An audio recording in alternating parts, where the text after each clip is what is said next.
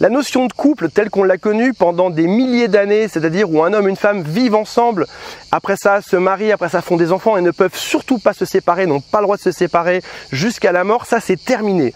On assiste aujourd'hui, on est nous-mêmes cette génération de transition. C'est-à-dire qu'en gros, il y avait un mode de fonctionnement précédemment qui était simple, après ça, pour le meilleur et pour le pire, hein. des fois ça marchait bien, des fois pas, mais qui était simple. On restait ensemble, on sortait ensemble et on se mariait jusqu'à la fin de notre vie et on arrive dans un nouveau mode. Ce nouveau mode, c'est chacun fait ce qu'il veut. On a le droit de divorcer, on a le droit d'être homo, on a le droit d'être indépendant, on a le droit de faire exactement ce qu'on veut, de se paxer, on peut même avoir des enfants sans se marier, on peut faire exactement ce qu'on veut. C'est une chance. On a, la chance aujourd'hui d'être complètement libre par rapport à ça et d'être aussi dans l'égalité. La femme est l'équivalent de l'homme. Si, si ça te choque, regarde juste Emmanuel d'il y a 20, 30, 50 ans ou 100 ans auparavant pour voir que c'était loin d'être le cas précédemment.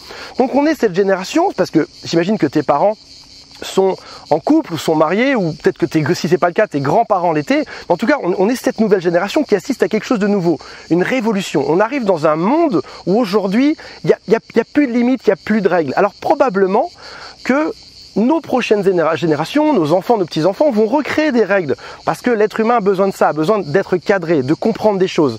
Bah voilà, tu te mets dans tel type de relation et ça s'appelle avec tel nom, etc. Seulement le problème c'est que nous on n'a pas encore inventé ça. On est juste pour l'instant témoin de tout ça, impuissant. Donc ça veut dire qu'il faut vivre avec.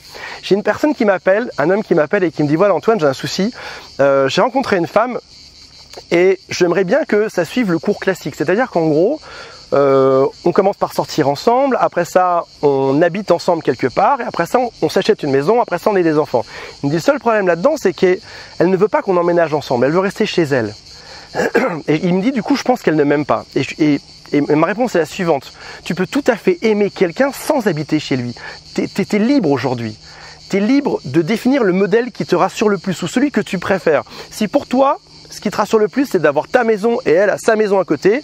Dans ce cas-là, c'est parfait, il n'y a pas de règle. Tu peux tout à fait être très amoureux, rester ensemble jusqu'au bout de ta vie, sans pour autant respecter le modèle des parents qui était de d'acheter la même maison, d'avoir un champ, une voiture, des vaches. Je dis ça parce que je suis dans la, nature, mais etc. Tu vois, tu peux tout à fait inventer ton style de vie. Je, vais te donner, et j'ai donné à cet homme un exemple qui est le suivant. J'ai un couple d'amis qui ont emménagé sur le même palier. En gros, elle, elle a emménagé sur la porte de gauche, sur le palier du troisième étage, et lui a emménagé à droite. Et ils ont eu un enfant ensemble, mais ils n'ont pas emménagé ensemble.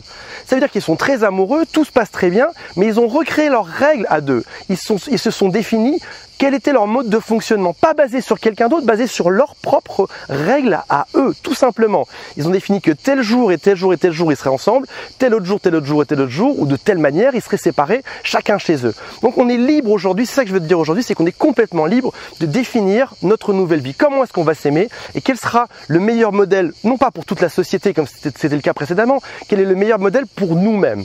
Dans tous les cas, dans toutes les phases de transition, c'est ça qu'on peut retenir, qu'on parle de psychologie, qu'on parle de de, sport ou de, changement politique ou de n'importe quoi, il y a une seule règle à définir. Dans les phases de changement, qui est celle à laquelle on assiste et dans laquelle on est tous globalement perdus, on se pose tous des questions, il y a une seule règle. Savoir être tolérant cool et patient. Si jamais tu respectes ça, si jamais ta copine ou ton copain te dit voilà, moi ce que je veux c'est tel type de vie, qu'on ne se voit que X soir ou que tel jour ou que de telle manière ou dans deux appartements différents, qu'on habite dans une caravane, sois patient.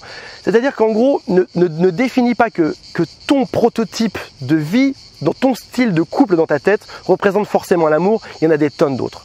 Si maintenant, pour une raison ou pour une autre, tu sens que ce style de vie ne te va pas, je sais pas si par exemple, on te propose d'habiter à 1000 km l'un de l'autre, c'est pas, pas ton truc, t'as pas envie de ça.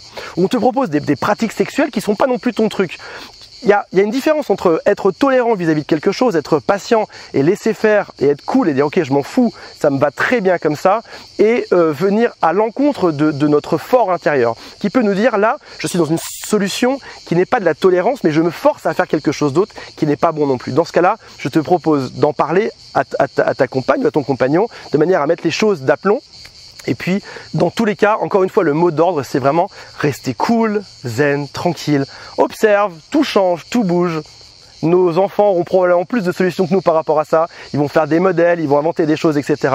Pour l'instant, nous, on a juste à rester cool. Ça change, c'est tant mieux. Tout le monde devient libre et égal et, c'est tant mieux pour tout le monde. Voilà. Si jamais tu as aimé cette vidéo, mets-moi un pouce. Si jamais ça te fait réagir, mets-moi un, petit commentaire en dessous, ça me fera plaisir. Si jamais tu as un copain qui sera intéressé par ça, partage et j'ai mis des cadeaux euh, dans la description de cette vidéo. Ciao